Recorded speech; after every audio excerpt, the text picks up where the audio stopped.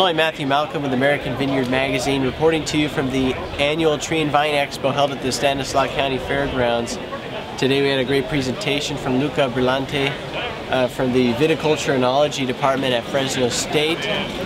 Obviously labor has been a big issue in our industries here, our agricultural industries, and mechanical harvesting, mechanic, any kind of any kind of mechanization now is is critical to our success in the future in, in vineyards. And so eh, he has some great findings that he talked about today. And could you expound upon that? Let us know what, what your findings Thank are. you, Matthew. Uh, yes, uh, increasing the profitability of, and reducing the cost of our industry is crucial to be competitive in the foreign uh, global market. And uh, we can show that by using a, a, mechanical approach, by mechanized pruning and shoot thinning, coupling with a modern way of looking at our vineyards using uh, irrigations or deficit irrigation or uh, precision viticulture could eventually increase the profitability of our vineyards and have grapes with the same quality at a reduced cost and increased yield as uh, opposed to the normal practices.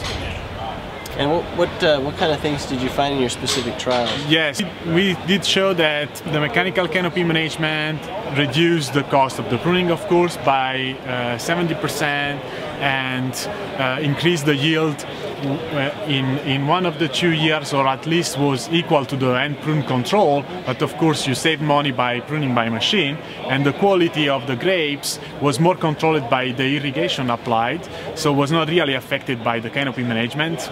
Was this uh, if it was end pruned or canopy or uh, mechanically managed didn't really change we didn't have worse quality because we mechanically managed grapes we did we had comparable quality to the end pruned uh, and at the same time uh, with applying some some little irrigation deficit between fruit set and veraison, we increase the color and the, uh, the anthocyanin content and the tannin uh, composition of, of the grapes and also of the wine.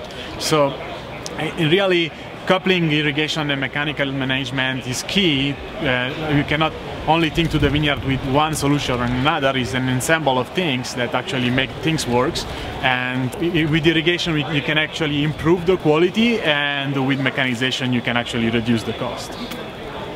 That's great. And you know, you did this trial in, in Merced? Yes, really close by here. Uh, in Merced was a Syrah planted on 1103 Paulsen and uh, in, a, in a classical California sprawl system. Great. Well, thank you, Luca. Read more about these findings in the coming issue of American Vineyard Magazine. I'm Matthew Malcolm, CaliforniaAgNet.com.